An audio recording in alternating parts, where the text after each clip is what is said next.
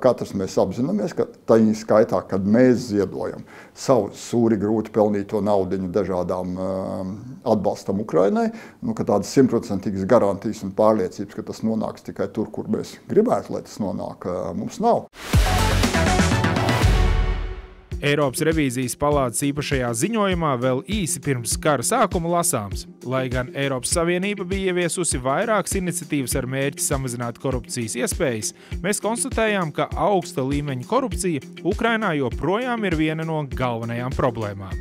Arī sākoties karam, korupcija nepazuda kā uz burvju mājiena, savukārt vēstures piemēri drīzāk liecina par pretējo. Lielais jautājums, vai korupcija Ukrainā neapdraud citu valstu palīdzības sniegšanu tai? Komentārā raksti savu viedokli.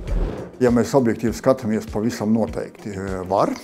Es domāju, ka ja mēs šeit, Latvijā, esot tik cieši visos viņas notikumos iekšā, kaut kā tā emocionāli izjūtam, sakam, nu, labi, kaut ko tur pa vidu nozags, bet vismaz tā, tā, tas cīņas potenciāls un, un, un iespējas cīnīties tiks saglabāts. Bet es domāju, ka valstīs, kas varbūt ir drusku tālāk no, no, no šī notikuma, un ka tas spēlē ļoti lielu lomu. Vēl vairāk mēs jau atceramies, ka patiesībā tad, kad šī brīža Ukrainas prezidents nāca pie varas, tas jau nenotika bez lielām finansēm un lielu oligarhu līdzdalības. Tad kādu brīdi, kā es saprotu un kā es to jūtu, viņš nedaudz uh, turējās, uh, nemēģinot uh, uzbrukt korupcijai, ne, ne, nemēģinot uzbrukt oligarhiem.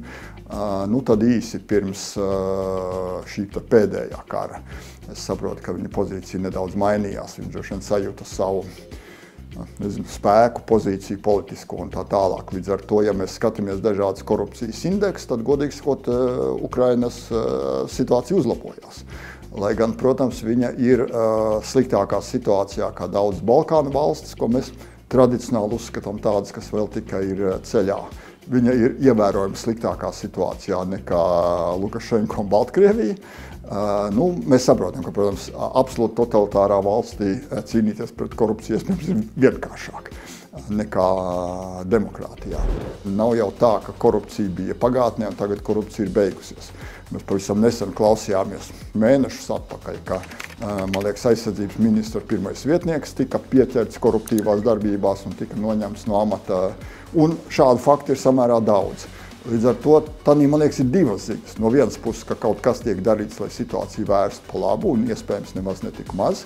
Jo mēs saprotam, ja, mēs, ja ir iespējams pieķerties klāt valsts ešalona, valdības ešalona augstākajām amatpersonām, tas nozīmē, ka kaut kāda iespēja cīnīties pret korupciju valstī ir parādījusies, teiksim tā.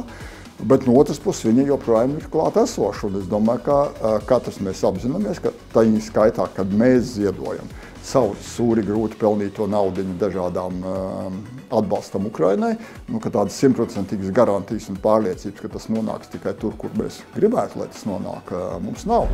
Tas, ko es varbūt priekš sevis esmu noformulējis, un pieņem diezgan daudz Latvijas iedzīvotāju, ka tas, tas virsmērķis tomēr ir lielāks par šo. Un teikt, ka nu, labi, kaut ko pa ceļam nozags, un tādēļ es tad jau vairs nepiedalīšos. Droši vien, ka šī nav pozīcija, kuru, kuru vajadzētu ieņemt.